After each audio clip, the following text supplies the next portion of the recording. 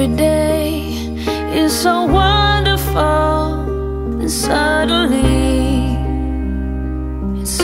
breathe. Now and then I get insecure from all the pain. I'm so ashamed.